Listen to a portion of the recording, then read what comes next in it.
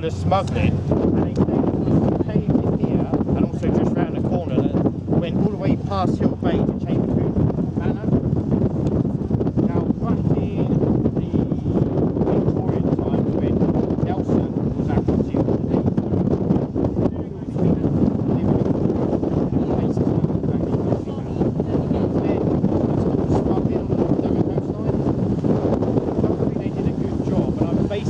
on the fact that there's thousands of books about smugglers in North Devon. So if they were that good, there wouldn't be any books.